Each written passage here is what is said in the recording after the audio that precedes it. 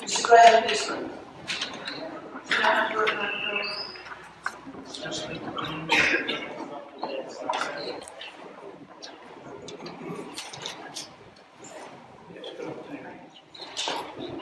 afternoon. Is that clear for everybody? Hello. Um, I'll bring forward. Actually, I'll sit. That's okay. Um, at a public meeting that Councillor Simon Spencer attended in Newton on Saturday, the 20th of January, he was able to judge for himself the strength of feeling and deep concerns of the local residents on how their lives and their homes are under threat by the HS2 Sheffield Spur. We thank him for accepting our invitation, along with Councillor Ainsworth. He mentioned after the end of the meeting that he was chairing an HS2 mitigation, mitigation strategy committee, and he felt that it was important that it was not made up of political appointees, and would be considering the appointing or co-opting on of representatives of the communities most affected by HS2 decisions. A meeting of that committee, he said, was to be held the following week. Following that meeting, is he able to tell us if members of the Blackwell group of residents will be able to be part of that committee? Mr. Hazel, uh, thanks for calling on again today. And thank you for your kind uh, invitation and reception on the of Blackwell on the 20th of January. Uh, there's a little confusion in your question, I need to establish uh, the correct criteria. Uh, I did say that Don should be chair the mitigation board, or sorry, committee, uh, following week. Uh, and there have been discussions about possible chairing that particular group and becoming the board by myself. That's when I did say that. And I also went on to say that the HS2 strategic board was meeting the following week where the discussions would take place how it would be formed. So that's just a clarification.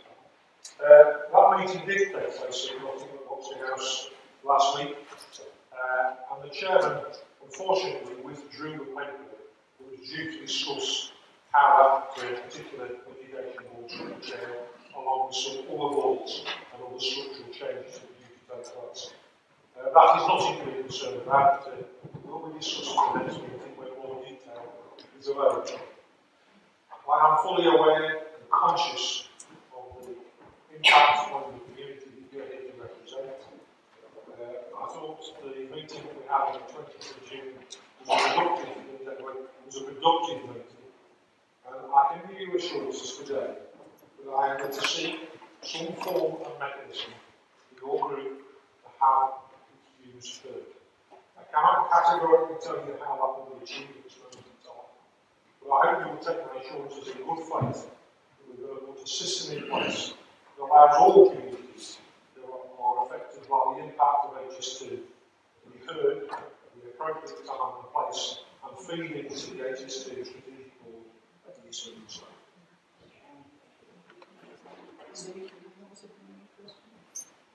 I have a supplementary question. It's really for all the councillors present in this chamber. Although most of your areas in the county will at first glance not appear to be affected by HS2, or so-called Sheffield Spur, that many of you might feel like myself, we might not even be here by the time these trains will be running. Just think that it is estimated that this project will cost every household in the UK over £3,000. So if you can see that the local and national government budgets are being squeezed now, and that vital services cannot be cut any further, then I urge you to think again. Will you all question this vanity project at every opportunity, which will drain the valuable resources of this great country for generations? Thank you.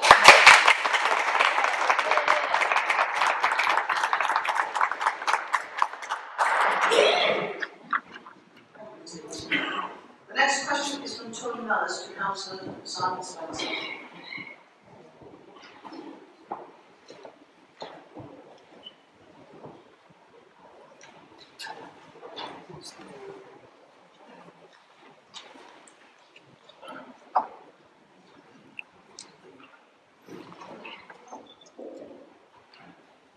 grateful to uh, Councillor Spencer, Richard and Mosby for attending our meeting at Newton on January the 20th and listening to the many issues we raised about the extent and the impact of two HS2 lines through Blackwell Parish.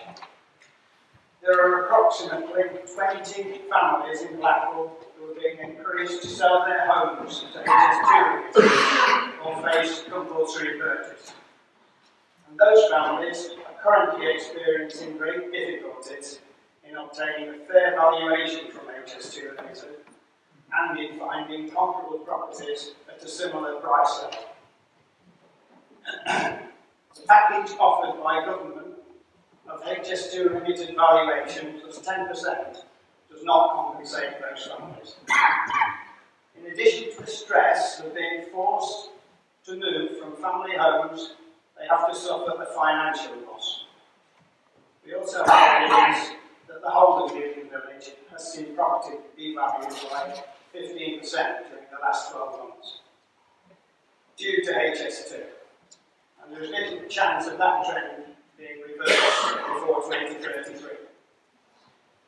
Does Derbyshire County Council agree that there should be no losers from HS2? Will they join with us in fighting for a fair deal for our community?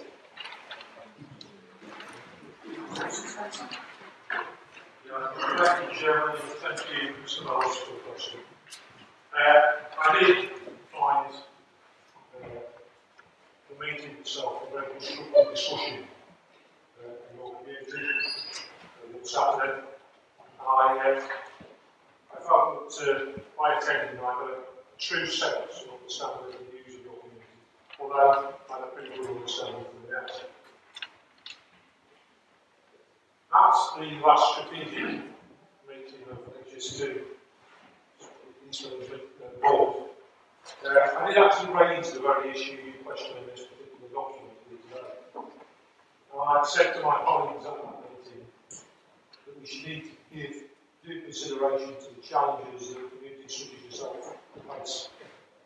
And we need to understand that there is a huge gulf between what is considered mitigation and the way in which we should deal with it. I think I use the language that the home should be replaced with equivalent home. I understand the intricate details of the mitigation programme that HS2 Limited have put forward. We've got express purchase systems, need to sell schemes, rural support zones, and the payment schemes, and that's just a few of. And unless you are an expert in this particular field, it is very difficult to grasp. And I'm not surprised that communities and individuals that are affected are finding difficulty understanding how to deal with it. I can give you an assurance today, Mr. Lars, that Derbyshire County Council will be doing all it can for all communities in Derbyshire that are affected by the system to mitigate their impact moving forward. We will endeavour to get the best we can out of the programme as far as the financial benefits of that county are concerned. But I can assure you today that we will be supporting you like we will be supporting every other community in Derbyshire to raise the issues that you have concerns about with regard to mitigation. I want to say also, Chair, if I may, County Council has every authority the Midlands has been approached to sign the confidentiality agreement. You will not be aware of it, so I actually not be aware of until earlier on last week. And I want to make it very clear and transparent to enable me to do my job as a government of the Violence and Traffic in I provided all the councils across our county agree to it. We, I, I do believe that it will be a necessity that we sign up to that confidentiality. So that we can have a full, a full view of the impact that may be occurring as a consequence of their proposals. Now, I look forward to your views on that. Well, I'm in a very difficult position that I fully appreciate. The council is also. So I uh, await your support. Um, I did, sorry. I did, yes.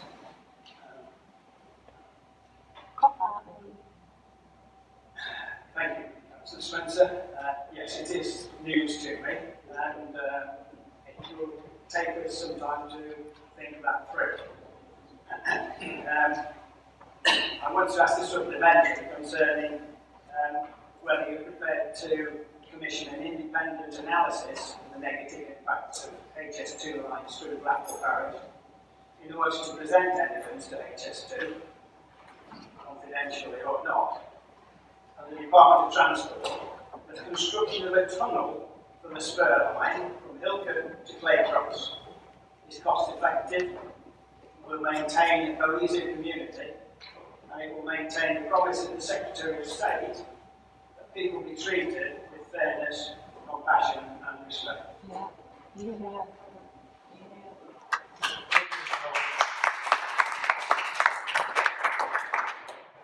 Um, as you are aware, uh, a commission report has already uh, taken, already started to take place. So others, the others of the, the commission to carry out the, the study uh, on the very same issues you are today.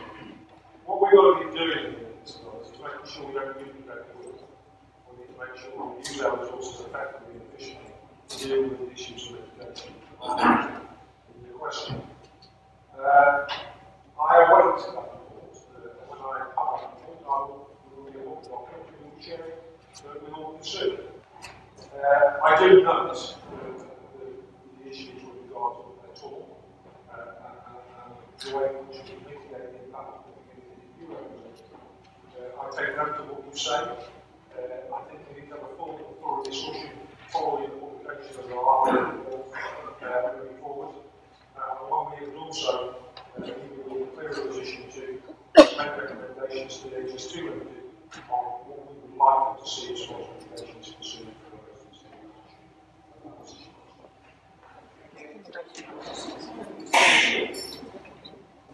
next question list is a question from Mrs. Wendy Pratt.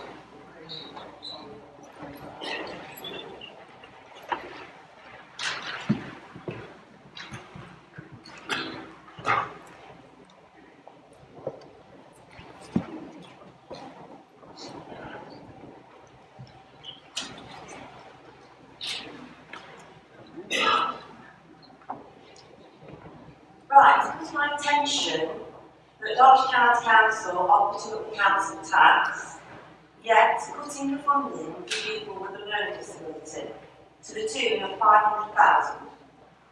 Part of these cuts are to housing related support.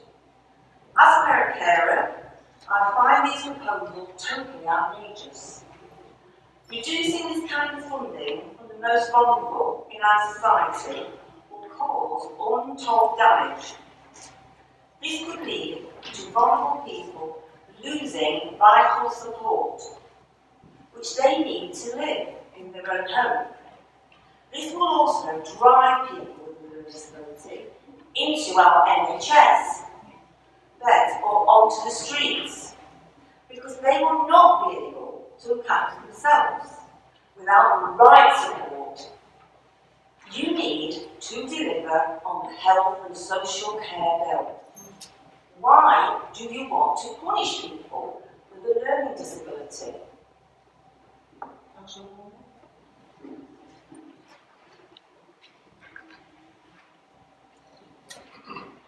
Well, thank you, uh, Mrs. Mrs. Pratt. That's a good question. We're not punishing people with a learning disability. We do everything we can to. Uh, we, need, we, uh, we have set a saving target of five million a in the learning disability services for the coming financial year. However, I am sure about the reference to housing, however, I'm not sure about the reference to housing related support. There's no plans to reduce uh, funding in that area. And regarding council tax, the growing needs of a number of further older people increase, and we need to meet the requirement of the national living wage, which is a picture of the family. And as you can see, the council, in the council papers that you've had before you, the to be delivered by working more efficiently across health and social care, and not about putting support to need more. We know as, a council that we spend more than any other authority in the area and on this, and we're looking to reduce costs and make Better use of our available resources. You say uh, that they're not cutting. You don't know about housing related support. Well, as a parent I have had a letter actually saying that reviews have to be done about housing related support. And that they, they changed the goalposts. Now, it's obviously Derbyshire County Council that changed the goalposts. Not uh, social services, because they are funded by Derbyshire County Council. So, we've had the review, and they have changed the goalposts, saying that you are not allowed to, you only have this block of hours, not this block of hours, it's to do with the blocks of hours you can change. That means you are pushing people with learning disability into paying for that care that they didn't previously pay for because of the funding cuts. So I, I can't see why you can actually deny that or say you don't have any knowledge of it. If you don't, people to go and uh, have word support. Because this is happening. This is really happening. Um, I'd like to really know what you are cutting then, what areas of funding you are cutting for people with a disability. I'd like to know exactly where that funding is being cut.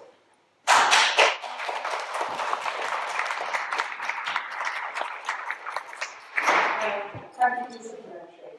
I will get the details back to you regarding housing related support. Um, as I say, I'm not aware, and I will get that back to you in the next few days. Um, we've already delivered several million savings by making more efficient and reducing costs. We've um, moved from outdated block contracts for their services, which is the means of younger adults in restricted uh, residential care by moving to supported living. I'm not pushing people with learning disability, we're supporting them. I'd still just like to say that, but I will get the details back to you in the next few days. Thank you.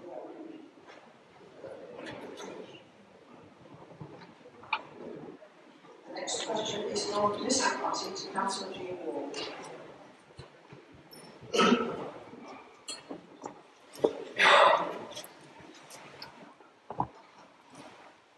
What was your question here? Is he not here?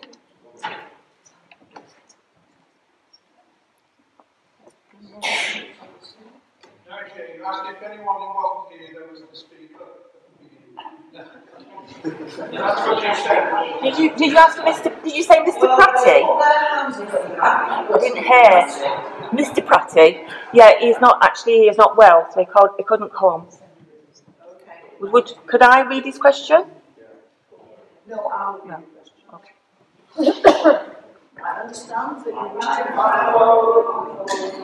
I understand that you wish to increase the council tax in order to help look after children in need. If this is correct, I have no problem with looking after children who need our protection. What I do object to is the total lack of thought or care given to the people with a learning, uh, there's a word should be after that. Cutting the lifeline is unforgivable. Vulnerable people have suffered long enough having to jump through hoops to get any benefits or support. Austerity is targeting people who do not have the capacity to fight back. It is about time that you started listening to parents, stroke carers, disability groups, and make sure that people who are vulnerable stop being persecuted by government policies. What guarantees can you give me that no person with a learning disability will become homeless because of your budget cuts? And as I stated, uh, a written response will be sent to Mr. The next question is from Jeannie Robinson to Councillor Carol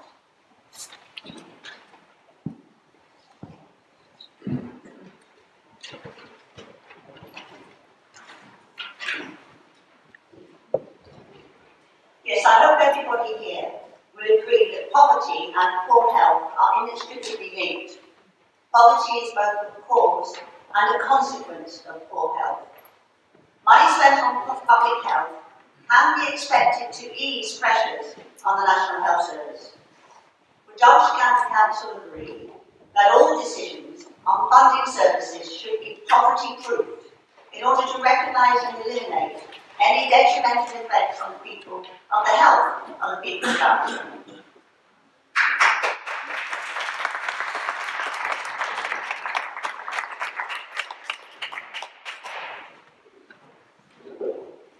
Thank you, Jeff.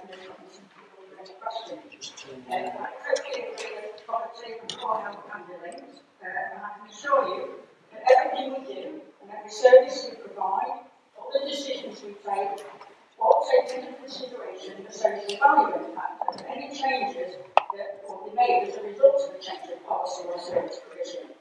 This would pick up issues related to poverty, uh, and where appropriate, a health equality audit would be undertaken. We do know that roughly only 20% of health is actually linked to healthcare services. The majority of things that make us healthy or unhealthy are our behaviours, where we live and work, we often find friends. I fully recognise that part of our social and economic circumstances impact on health and well-being. This is why we invest well over a million pounds of the public health budget in providing services such as CAB in over 98% of general practices within Derbyshire and in the children's centre. Later this year, we'll broaden this approach to develop the uh, wellness hubs, such as local libraries um, and such, and again, CAB will be included in that service. As a council, we spend over £4 million in total on financial inclusion and poverty agenda across Derbyshire. That's including such services as welfare rights. We work closely with local employers, educational institutions, career advice services and job centre plus to help support people into employment, recognising that having a job is to improving health and well-being, and recognising that aspiring to a future career an even better impact on health and health. We recently had a visit last week, and I spoke to more I think today, from the Chief Executive of Public Health. And this was his a key message that he put forward.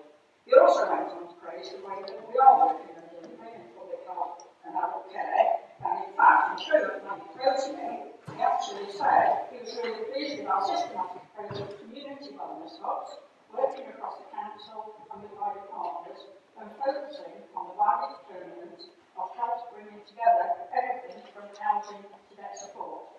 Wide that relates to. I'd just like to do a quick supplementary.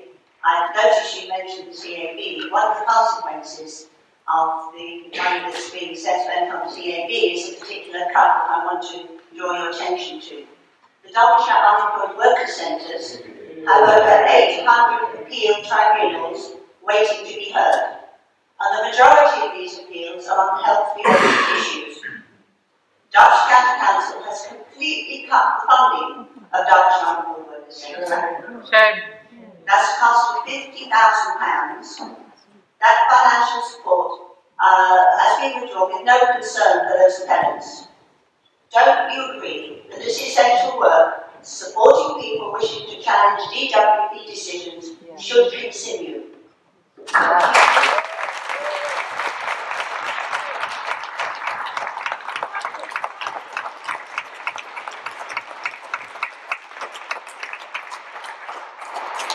we're not renewing the funding there because that is an isolated area. What we want to do is to look at the whole of Derbyshire.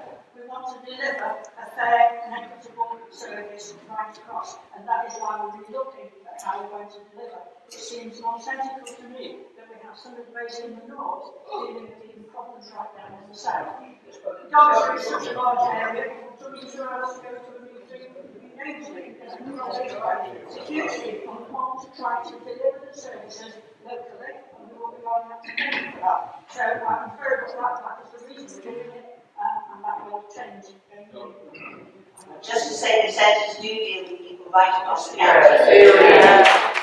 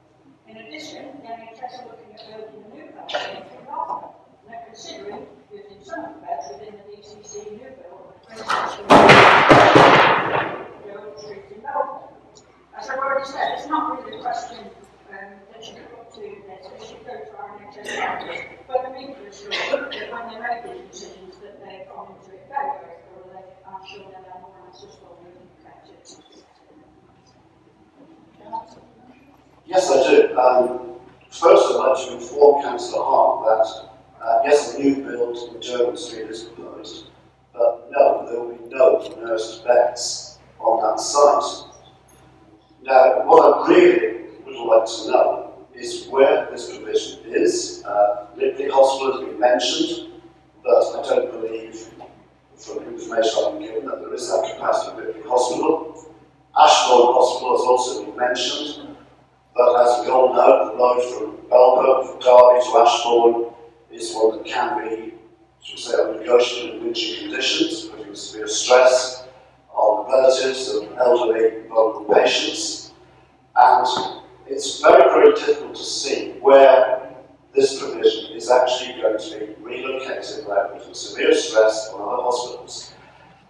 In that context, would it not therefore be more advisable to open up this issue to honest, open, full public consultation?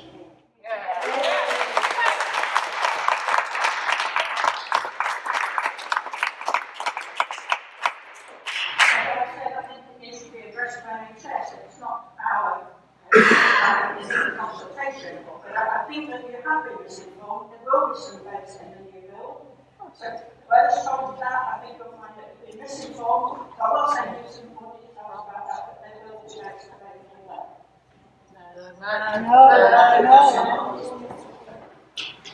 The next question is from Anne to Councillor Jean Ward.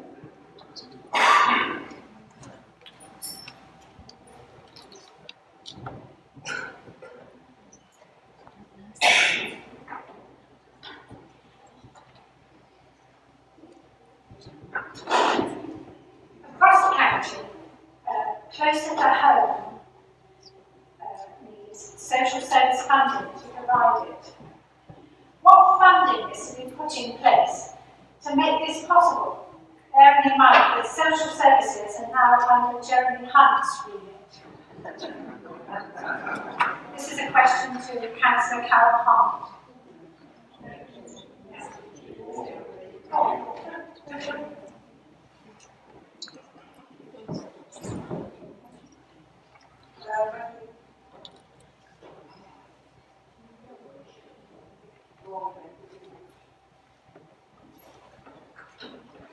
Uh, Thank you very much, Mr Sandra. Sandra? Um, we received funding through the Better Care Fund of 95 uh, million across, that's across the county, which is new money from the government allocated to enable social care and the NHS to work together to improve within the community. It's not all about additional funding, but about enabling people to stay in their own homes rather than hospital bed. Regardless of what government department social care sits, this council will continue to support our government. Um, Right, I'd like to reply to that, uh, in some figures about uh, the budget that I've read Derbyshire County Council has passed. So, for instance, in Appendix 5, you cut 200,000 of the uh, staffing for adult care, for instance. Yes. You cut 3 million pounds worth of This is one question to do with the first question. It is to do with the first question, really, because in fact, your uh, funding of social care is so lamentable that it cannot uh, be the sort of care that is needed for the proposed care closer to home. Uh, in fact, uh, the former question addressed uh, those numbers of beds which are being cut from uh, the, the service of Belper. Uh, and it is correct actually, so um, I think you're misinformed on that, because in fact there are going to be no nursing beds in Belper at all, which means that those people are going to be so-called in the community with uh, care closer to home. So that you'll need more funding, won't you, for your social services budget in order to be able to provide that care that's not going to be available because those beds are not going to be there. We were told that recently by Dr. John Wood when he came uh, to a meeting uh, at, uh, in Melbourne recently. So,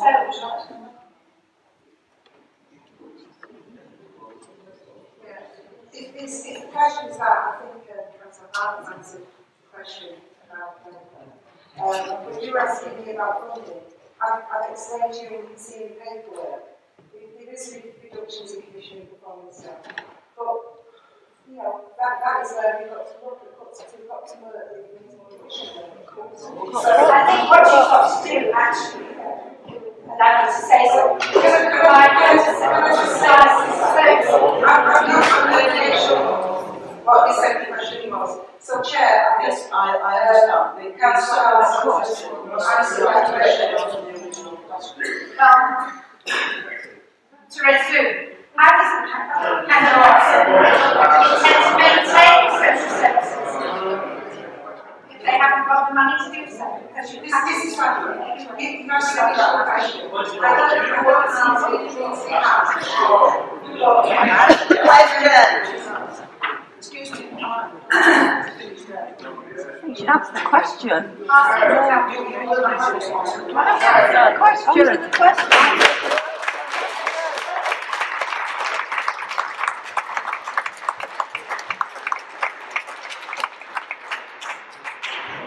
Just Keith Venables here.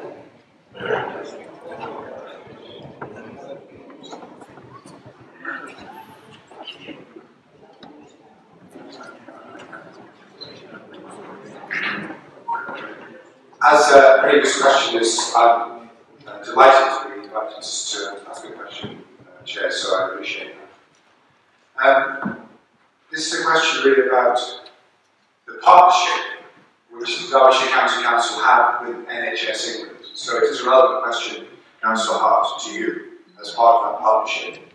Could you explain why Babington and Newholme hospitals were transferred to a thing called NHS Property Services, which took the money away from Derbyshire, and how the sale of those sites will be used to benefit local Derbyshire NHS people.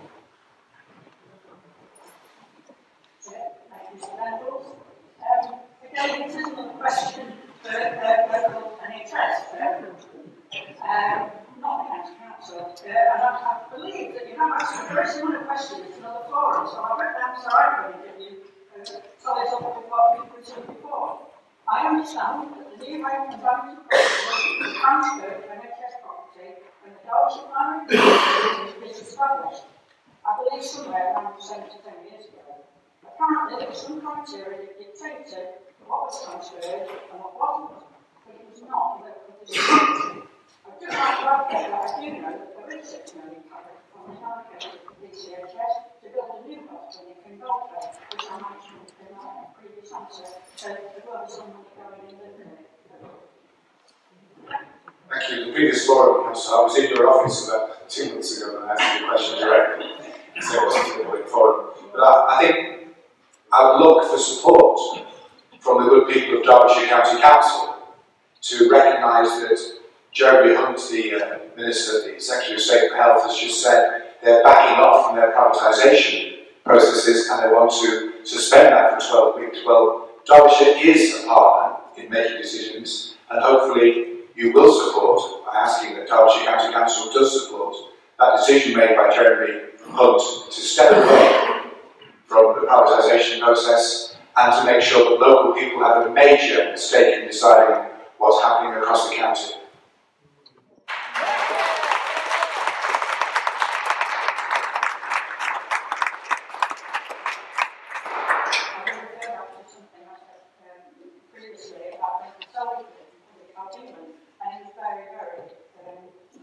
is with the way that we're dealing with working with partners, and he thinks that because we're working so well with partners, we are delivering a good service.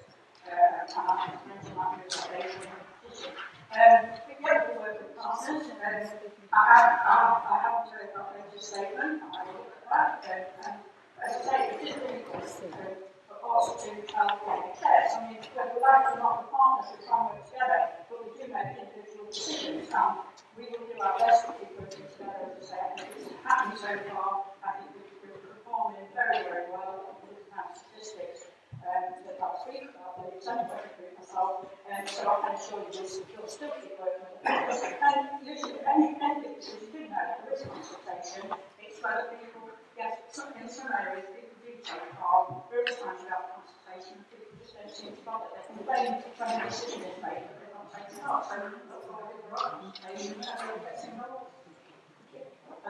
I think Chair, thank you for hearing, hearing with me here, which makes my life in this meeting a lot easier.